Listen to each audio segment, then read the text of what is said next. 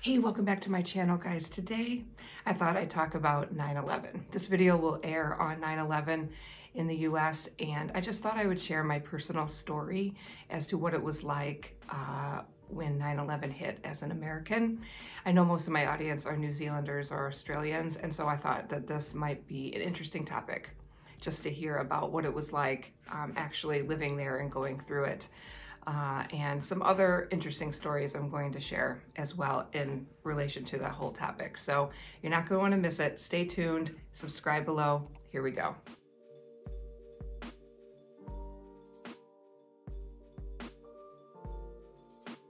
Where was I 9-11 uh, when the attacks happened on the World Trade Center? I was 25 at the time. I was just pregnant with my first child and I was teaching at the university uh, in Milwaukee and I remember it so clearly. Um, basically, I was teaching and one of my students raised her hand. The student that, you know, always is trying to get out of doing whatever we're doing in class. And he was like, a plane just, you know, rammed into the World Trade Center. And I was like, okay. Anyway, moving on. like, totally didn't believe him. Like he was like, oh. Then he raised his hand. He no, really, a plane just went into the World Trade Center. And I'm like, okay, well, obviously the, the pilot was, you know, something happened and that's horrible. Uh, but we're going to continue this lesson because he was just, to me, I felt like he was just trying to get out of it. And it didn't, you know, at that point when the first plane came, we didn't, you know, nobody knew it was a terrorist attack, right? So, uh, and then you know, what was it? I don't know, about 20 minutes later, another student raised another plane hit the other tower. And I was like, wait, what? and so we all kind of stopped and tried to figure it out. And it was different back in 2001. Like, I mean, there was the internet, but it wasn't the same with smartphones and uh, you got most of your information from the TV. so we ended class early and I was in grad school as well. So I ended up just deciding to go home and uh, study from there and doing what I needed to do. And I just remember spending the whole day sitting in front of the TV watching the news. And it was so interesting at the time because the news was just, nobody knew what was happening. Like, I mean, you could just seeing it as it's developing, like the reporters, the anchor people on TV were just like, we don't know what's going on. And then when the towers come down, it was, it was shocking and like you can hear the reporters talking like you know nobody's anticipating any of this because it really required a mind shift. It was like it's when something happens like that that you can't even possibly like make up in your mind that this could ever happen you don't know what to do with it. Your brain is like i don't know what to do with this information and making any sort of sense from it. So you can see that. Uh, if you watch the new uh, documentary on Netflix about 9-11, I haven't gotten through the whole thing, but uh, it's really good. And it reminds me, and you can see some of these TV broadcasts talking about, uh, yeah, talking like, you know, they're shocked. They don't really know what to say. They don't know how to define it. It was just kind of like a crazy turn of events and it was just horrible. And you're just like watching it and and there was a lot of fear as to like is there going to be another one?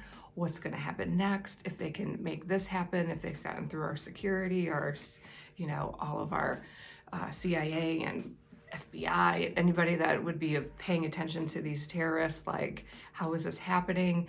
And so yeah i just remember it being quite yeah, you just, you don't understand it. Your brain doesn't know how to handle it. I remember personally feeling like, you know, I'm about to bring a child into this world and extra stress with that, like just fear of safety. Like these people were just going to work that day. These people were just getting on a plane um, from multiple different cities. And, and so you're like, holy cow. And so you're just like mentally like, you just don't really know what to do with that. And obviously I wasn't in New York, I was in Wisconsin. I wasn't, you know, in the midst of it. I didn't have anybody that would possibly have been in the tower. But man, it was just like, it's just, it's, I just remember watching the TV and people having no idea what to think about this, what to do about this, about those people trapped in those upper, uh, those uh, upper floors that were above where the crash hit. And oh my goodness. And then seeing that plane go into the Pentagon, oh my goodness. It was, it was an experience. Now, I haven't had the chance to visit the site in New York City where it happened and the big memorial, and I heard it's really, really cool and would really like to see that someday. Um, but yeah, I just remember feeling after that, like, I think that the documentary expresses it well in that everybody felt scared, like traveling again. Like, do I get on a plane? Scared to be in a big city, uh, scared to be in a, you know, a tall building. Um, I think people were angry. I think that we don't understand why somebody would hate us so much that they would do something like that. Like there's just so much we didn't understand. Uh, and now, you know, after the fact, and you see a little bit of history with it, you know, it becomes a little bit more clear. Um, and then now that we've had 20 years, you know, we have a little bit more understanding of what's going on. And so it's, yeah.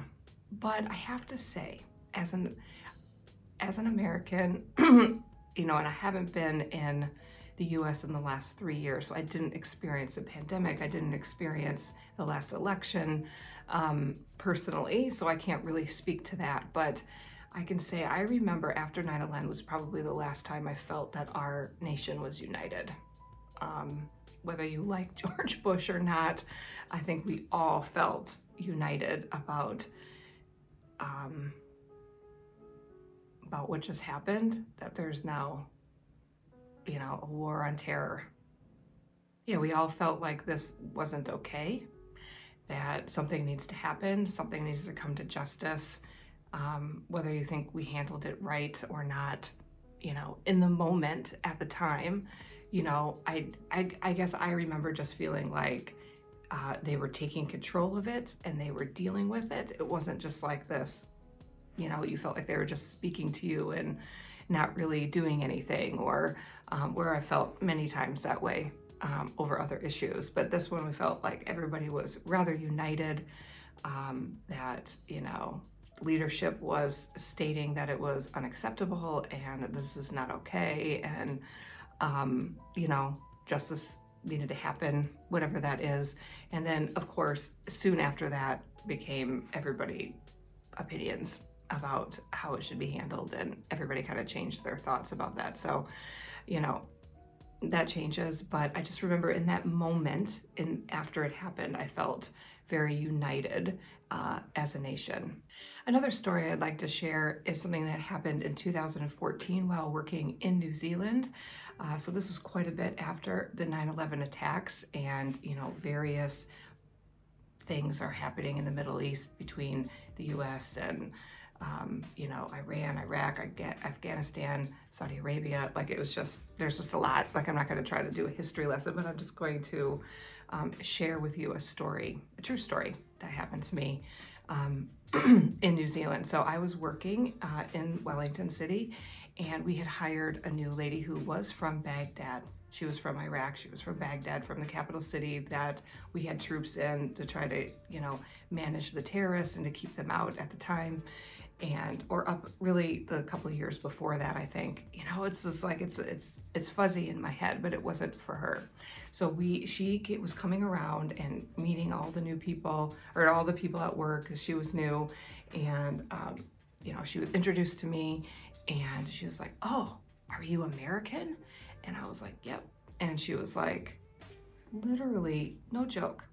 She's from baghdad. She like fell to the ground thank you, thank you, and like kind of grab my legs and like, thank you, thank you, thank you to your president who who brought in the troops and uh, for protecting us against, you know, whatever. She started listing all these names and I was like, wait, what? I mean, I was speechless. I was like, of course, this is nothing really to do with me, but I represented to her the people that came and saved her. She's like, my whole family is in Baghdad.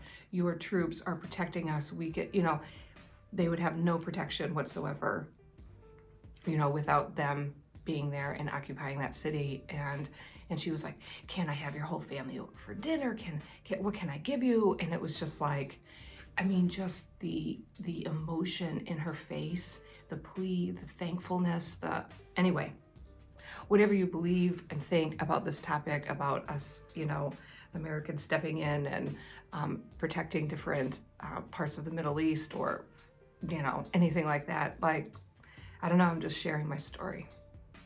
That that was an experience I had never expected in a million years. And she was always just like, you know, she just really wanted to thank me and have me over and it just didn't work out because of really religious there, you know. Um, yeah, her husband really wasn't up for that, but we, uh, but it was just so eye-opening to me, I guess, that, uh, you know, what, whether, you know, you agree with it or not, what we were doing in Iraq and Baghdad were affecting people and families. And she was coming to me and just thanking me for that. And so I thought I'd share that story because that was one of those times where you're just like, wow, wow this this just really brought it personal to me and brought it home for me. Um, you know, you know whether you feel like you have an obligation to countries that can't protect themselves or not. I don't know. It's an interesting thing to think about, um, especially with all that's going on with Afghanistan now and pulling out and.